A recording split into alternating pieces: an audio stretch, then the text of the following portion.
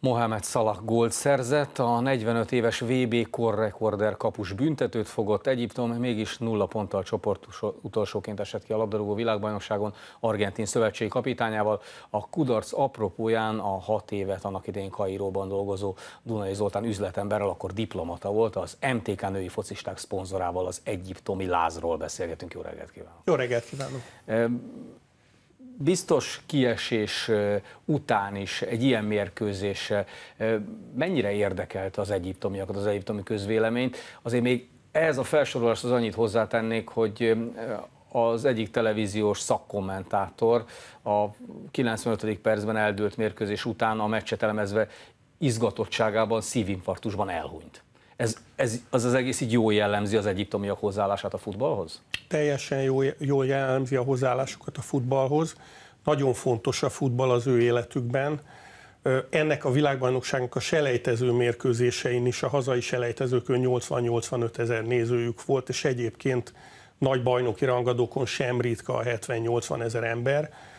Óriási a jelentősége egy-egy meccsnek, tehát leáll az élet a, a 20 milliós kajróba, megállnak az autóbuszok, leszállnak róla az utasok, meg a vezető és a kávézókba, követik a mérkőzést, aztán visszaszállnak a buszra, és a busz két óra késéssel megy tovább.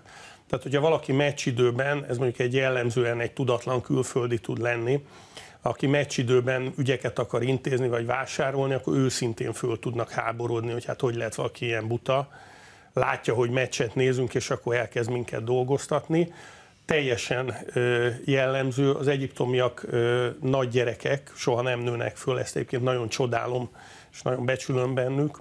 Tehát mert... ez, ez, ez, nem egy lenéző megfogalmazás volt, hanem, hanem egy lelkes. Tehát, hogy Abszolút. Jó, Abszolút. jó látni ezt, Mi nem? mindannyian szeretnénk uh-huh. egy kicsit nem felnőni, hogyha jól belegondolunk, és az egész futball erről szól és az egyiptomiaknak ez sikerül. Na most ezek után, ahogyan ők elmennek erről a világbajnokságról, milyen most a hangulat Egyiptomban? Azt gondolom, hogy ez egy folyamat, tehát Hector Cooper 2015-ben vette át a válogatottat. Nem könnyű helyzetben, ha Nagyon nehéz helyzetben, hiszen azt megelőzően az úgynevezett arab tavasz miatt két bajnokságot is félbe kellett szakítani, nem is lehetett befejezni és egy másik szempontból is nagyon nehéz helyzetben volt, mert hiszen a válogatott több mint kétharmada külföldön játszik. Ugye többen Angliában, heten, öten Szaudarábiában. Ez ugye azt jelenti, hogy nagyon nehéz volt neki egy egységes csapatot formálni ebből a válogatottból, és egybe kell nézni ezt a világbajnokságot a tavalyi Afrika kupával, amit Egyiptomnak nem sikerült megnyerni, hiszen a döntőben kikapott Kameruntól, úgyhogy döcögött egyébként a játék az Afrika Kupa mérkőzései alatt. Egyiptomnak kötelező megnyerni az Afrika kupát. Ez benne van egész egyszerűen az ő életérzésükben, ők saját magukat Afrika vezető hatalmának tartják a hivatalos külpolitika is a köré épül, hogy Egyiptom a vezető erő politikailag, gazdaságilag, iparilag, katonailag. És futballban. És futballban is szeretnének minden körülmények között azok lenni. Tehát már látni lehetett a tavalyi Afrika kupa után, hogy Hector Cooper, akinek most egyébként lejár a szerződése a, a VB után, csak abban az esetben kaphat új ajánlatot, hogyha valamilyen nagyon jó VB szerepléssel vétett észre magát. Ez nem következett be.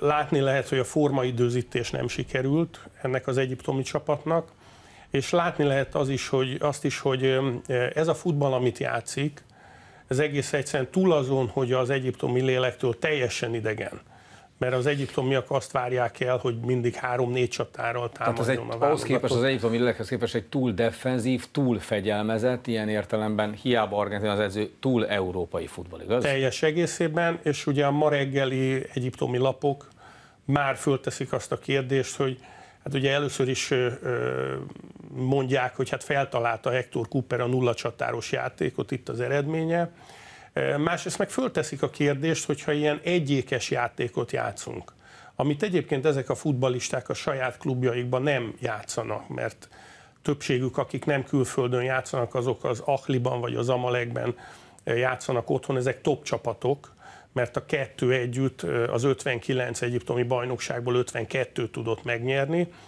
Tehát, hogyha nem ilyen futballt játszanak ezek a játékosok a saját klubjukban, akkor tulajdonképpen miért erőltetjük, mert az egycsatáros játékhoz, ezt is bebizonyította a VB, tulajdonképpen egy ilyen ékszerű középcsatára ennek az egyiptomi válogatottnak nincs, sem Maruán, sem Kahraba, nem Kahrabának a neve egyébként elektromos áramot jelent, a művész neve, egyikük sem mondható egy ilyen ékszerű csatárnak, aki beleillik ebbe a formációba. Viszont igen, hogyha igen, a világbajnokságot nézzük. Azt egyébként tudomásul veszik az egyitomiak, hogy ma már a válogatott jelentős része légiós, bár azon a kereten végignézünk, van Zamalek játékos benne, Alakli játékos, még több van benne, de valóban itt hát azt mondom, hogy kétharmados a többség legalább. Abszolút kétharmados a többség, ráadásul ugye sokan a nagy pénz miatt Szaudarábiába játszanak, ahol a bajnokság egy kicsivel az egyiptominál is gyengébb. Tehát ezt a csapatot, ezeket az erőket valóban nehéz volt fölkészíteni, jobban föl lehetett volna valószínűleg készíteni egy kis formaidőzítéssel, de nehéz volt fölkészíteni erre a világbajnokság. Egy nehéz csoportba kerültek, és hát a futballhoz, mint mindenhez az életben kell egy kis szerencse. Most ez a szerencse én úgy érzem, hogy bizonyos szituációkban nem állt az egyiptomiak mellé. Tegyünk egy kis időutazást az emlékeiben. Ugye 88 és 94 között volt diplomata a Kairóban. Egy világbajnokság, és egy olyan világbajnokság, ahol ott volt rettenetesen hosszú idő után Egyiptom, az, az, az beleesett ebbe az időszakba. Olyan volt annak a hangulata? Csodálatos időszak volt, és egy csodálatos hangulata volt. Már a, a 90-es VB selejtezői közül a mindent eldöntő Egyiptom-Algéria selejtező, amit Egyiptom Hosszám Hassan fejes góljával egy 0 nyert, az egy futballtörténelmi nézőcsúcsot hozott a Kajró stadionba, 114 ezer néző volt ezen a mérkőzésen, óriási hangulat volt. Nagyon nagy volt az elvárás a válogatottal szemben. Eleve ugye az Egyiptom-Algéria az egy kicsit olyan jellegű presztis csata, mint mondjuk egy magyar-román válogatott meccs, tehát egy érzelmileg túlfűtött valami és aztán ez a válogatott 90-ben a világbajnokságon Olaszországba kitűnően szerepelt. Majdnem tovább jutott. Nagyon kicsi választott el a továbbjutást, ugye az első meccsen a nagy hollandok, a két évvel korábbi Európa-bajnok hollandok ellen egy, egy kemény és megérdemelt egy-egyes döntetlent játszottak.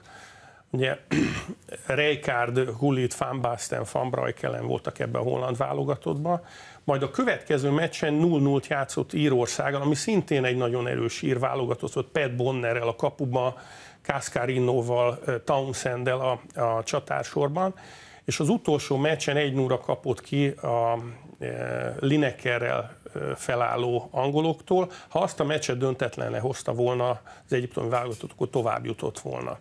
Most abba az egyiptomi válogatottba egyébként legendás futbalisták játszottak, ugye Hosszám Hassanról már szót ejtettem, az Iker testvére, aki védő volt, Ibrahim Hassan szintén nagyon jó futbalista volt, Taher Abu Zaid, aki a mai egyiptomi sportminiszter, vagy a kapus Ahmed Shubeir, hát ezek ilyen nagyon legendás futbalisták, akikre mind a mai napig szívesen emlékszik a közvélemény. Kinek szólít most, hogy kedvenc Egyiptom nem lesz ott? Hát így, hogy Egyiptom nem lesz ott, így nyilvánvalóan ugye, miután Moszkvába végeztem, tudom, hogy néhány nappal ezelőtt Stír Gábor barátom volt, aki a, az orosz futball és a politika összefüggéseit ecsetelte, néztem is. Az oroszoknak fogok szurkolni innentől kezdve ha már az MTK női futballcsapata nem lehet ott a, a világbajnokságon, de ott marad a csapat mellett támogatóként, igaz? Abszolút így van.